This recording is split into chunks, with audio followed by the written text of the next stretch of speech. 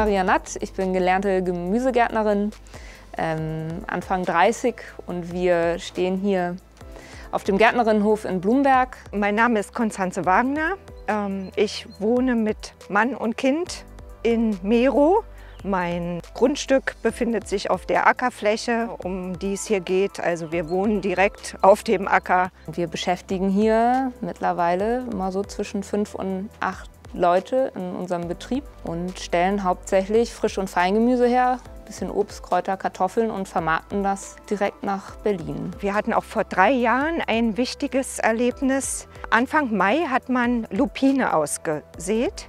Und die Lupine wird wohl auch im herkömmlichen Anbau nicht mehr mit Pestiziden behandelt. Das heißt, die wurde ausgesät, ging auf und es konnten sich Unkräuter dazwischen ansiedeln.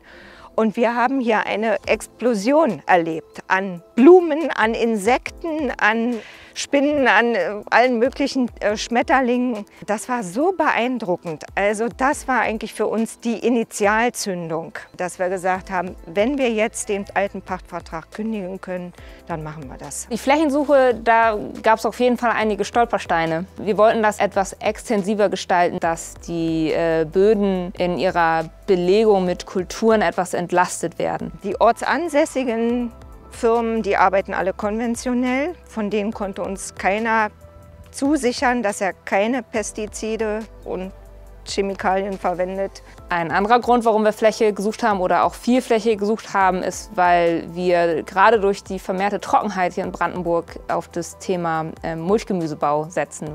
Den Gärtnerinnenhof kannten wir schon. Mir war nur nicht klar, dass eben Interesse dort besteht an größeren Flächen. Wir sind hier in Blumberg ein kleiner äh, Biobetrieb, der Flächen sucht.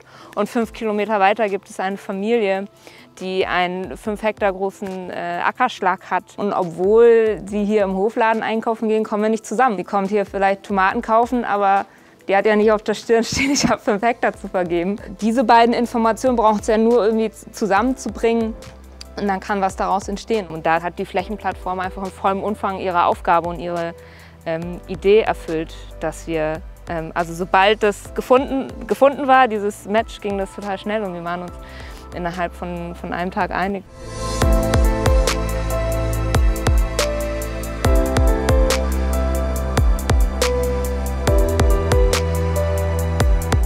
Wenn Sie sehen, dass Ihre Pachtverträge auslaufen oder Kündigungsmöglichkeiten bieten, dass Sie wirklich auf Ihre Flächen gehen und in Ihr Herz hineinhören, ob Sie mit der Art der Bewirtschaftung ähm, einverstanden sind.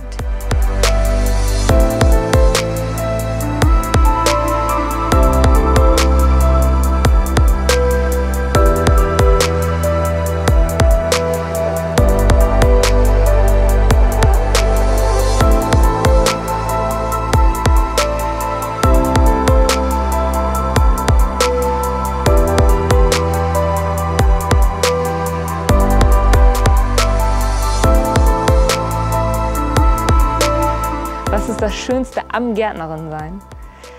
Ähm, ich würde eher sagen, das Schönste am Leben ist Gärtnerin sein.